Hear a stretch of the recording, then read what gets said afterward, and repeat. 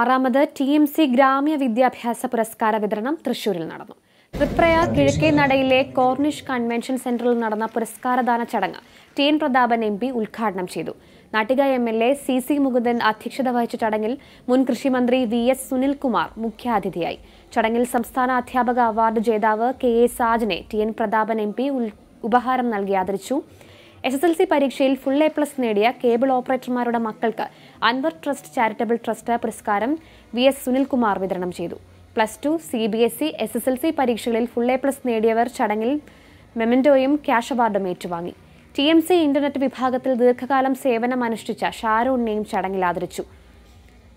C O A സംസ്ഥാന president Abubakar Siddique general secretary K V Rajan secretary P B Suresh ജില്ലാ secretary P Antony മേഖലാ secretary K B Baiju മേഖലാ president K R Sumesh Kumar Gramya channel M D Raghu Pulikkal T M C chairman E L Tony Anthikad Tony Thalikulam block panchayat അംഗങ്ങൾ തുടങ്ങിയവരും ചടങ്ങിൽ സന്നിഹിതരായി.